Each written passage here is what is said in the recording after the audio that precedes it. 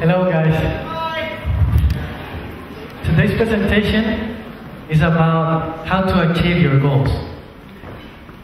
And goals help us keep moving forward and keeps us fresh as persons. And although goals are important, before continuing, I want you to remember one thing. You are not your goals, you are not your success, and you are not your achievements.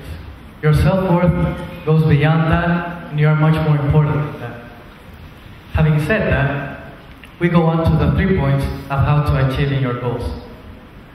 First, we start by believing, then planning, then executing. The first point is believing. Why is this point so important? If you believe you can, then you can achieve your goals. It's important for you to believe. If you don't believe, it will be very hard for you to achieve anything. If you don't believe, it doesn't matter how many people around you believe in you or not. That will have little or no effect on you achieving. But when you believe, you open the doors to go through your goals and grasp them, savor them, and achieve. So, this point of achieving goes hand in hand with believing. Once you have believed, then we can go on to continue and you can start on thinking how and what things you can do in order to achieve these goals. Once you believe, you can start planning. And planning is important because we are limited by this scarce resource of time. If you don't plan, you will more than likely be thinking, oh, I didn't have time enough to do this or that, and your time just will run amok. So planning is of utmost importance in order for you to achieve. When you plan, there are four things you can do in this, this part. First, you should write your goals down. What do you want to achieve? Then, you can write down how and what things you want to do to achieve these goals. You should write them as specifically as you can. Third, you should write a time schedule depicting hour by hour the things you need to do in order to achieve these things. And then you will have two things in this section. The core priorities, which will be the things you will specifically do to achieve those goals, and the non-core priorities, which are all the other things you still need to do on your daily basis and that are not related to your goals.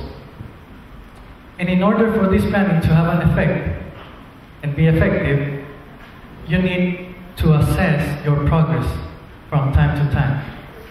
And you need to be accountable for your plan. In this, you can have somebody else check your progress, or you can mark it out by yourself whenever you accomplish your daily schedule. And you need to be as true as you can when doing this plan.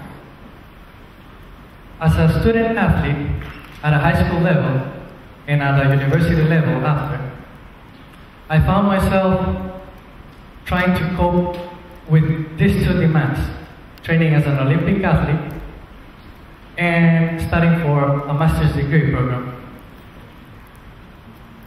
These things I needed to accomplish well in the track, and I needed to get good grades in order to be a good scholar and be in a good standing at the university.